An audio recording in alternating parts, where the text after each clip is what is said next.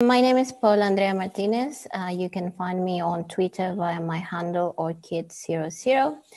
This presentation is open to you via Creative Commons CC by 4 International, and I've uploaded to Figshare. So I think I tick all the boxes that Alex just mentioned.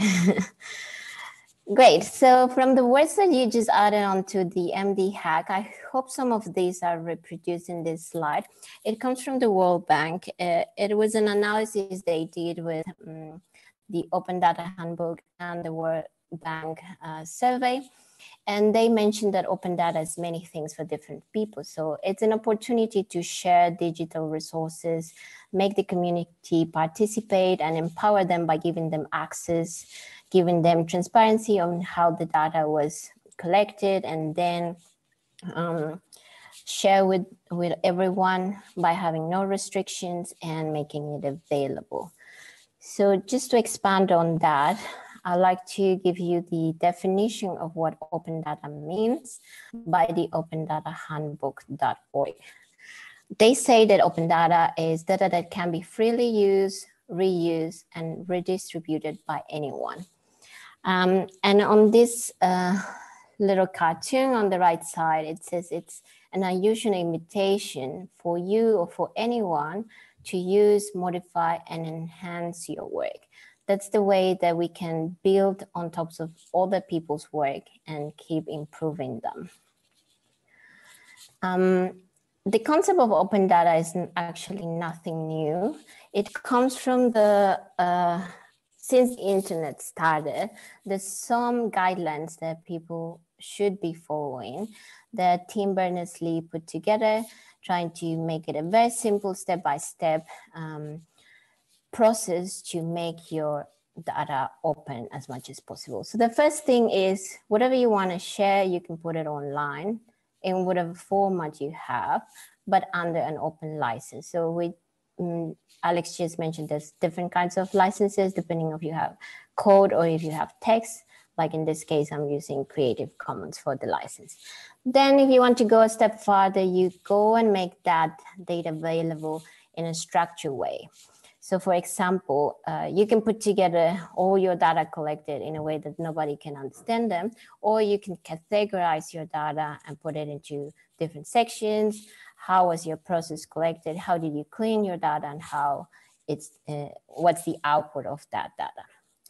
The third way is making this data once it's out there it's on the internet you have put it together kind of in a spreadsheet for example you can opt to have a non-proprietary or open format. For example instead of having excel that not everyone can open you can have that as a text file or a comma separate created uh.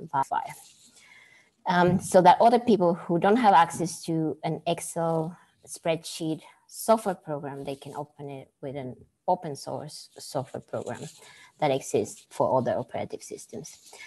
Um, the fourth step is that you will add a link or URI to denote what you are sharing. And that is a URL and we would like to have this URL as a permanent resource. So something that it's not going to change over time. And it's always going to point to the original data that you are sharing. Uh, once you have that, you make a very good progress. And the last step that you can make to contribute to open data is to link your data. So it's very unusual that you have a data that comes by itself stands alone and links to nothing. So you have to try to put some extra information about how this data links to other data. If you've collected from other sources, if you've cleaned it from other sources, if you contributed with other people, all those things are things that you can link to your data and it provides context of what the result is. So with these steps, you are helping everyone and making it possible for others to reuse your data in a much meaningful way. Um, to continue with this presentation, I'll touch on these three points that I think are very important when you share your data. First is ethics. The second one is how you link your data a little bit more in details. And then the fair data principles. So first for ethics, uh, a lot of people think that the ethics goes just at the end. So when you try to communicate and distribute your data, you should be ethical on what you're sharing. But instead, I want you to remind yourself that ethics comes from the moment that you apply for funding. So someone is paying for this research and they want this research to be public or no? What's the motivation for that? How are you designing your project? Are you being biased or about your data collection? Um, how are you resourcing your data?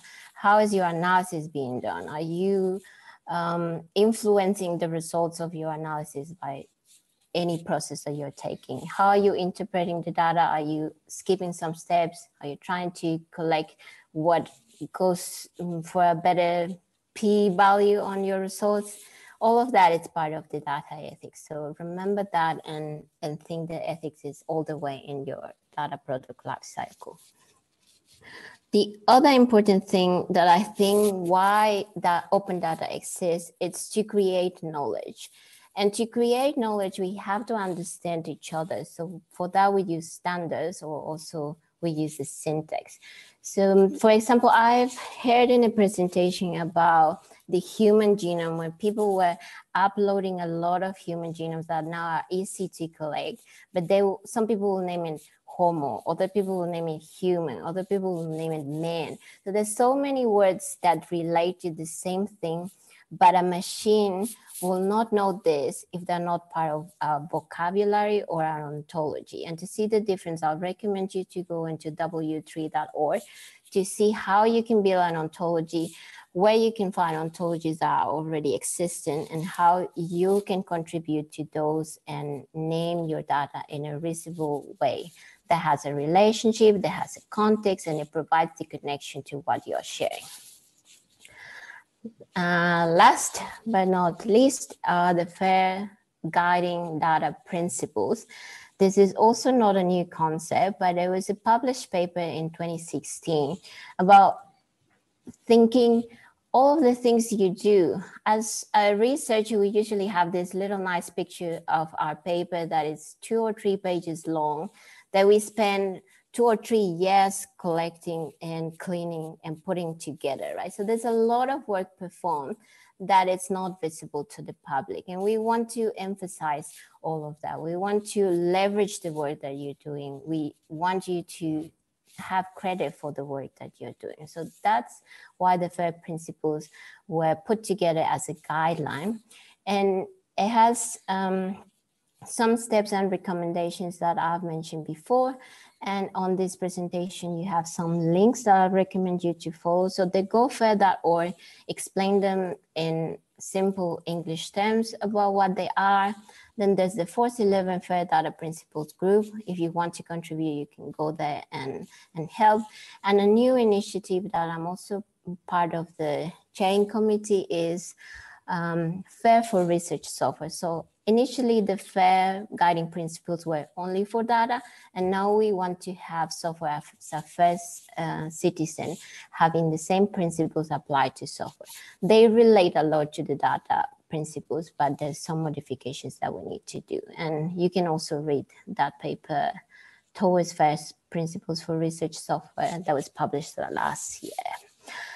Um, some communities uh, that I've been part of or that I'm still part of that uh, you can go and look up for more information are the Open Data Handbook by the Open Knowledge Foundation. The last OLS had a presentation by one of the members. There's a lot of information in the Digital Curation Center, not only about open data, but also licensing and many other topics that you're welcome to have a look.